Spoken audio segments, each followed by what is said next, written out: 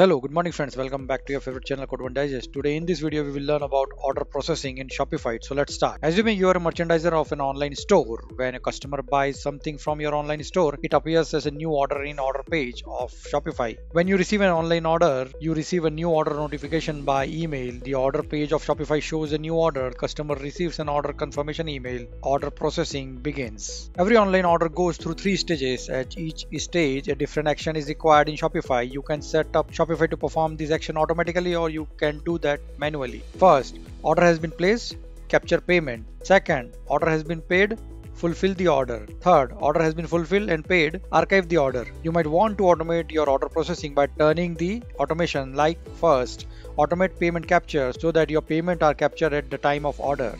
Second, automate order fulfillment so that your fulfillment service is notified. Third, automate order archiving so that your order status is set to close.